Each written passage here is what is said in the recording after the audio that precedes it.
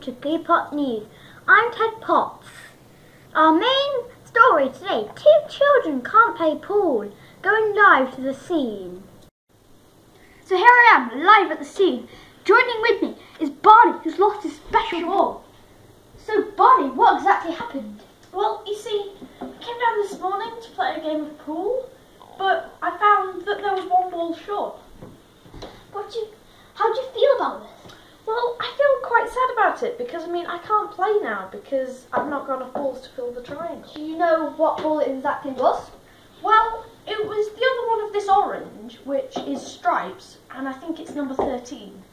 And what do you think the government should do about this? Well, I think with all things in consideration, tax breaks for the elderly. Oh, okay.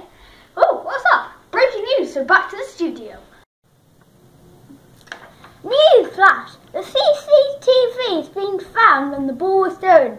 Let's look, go to that now.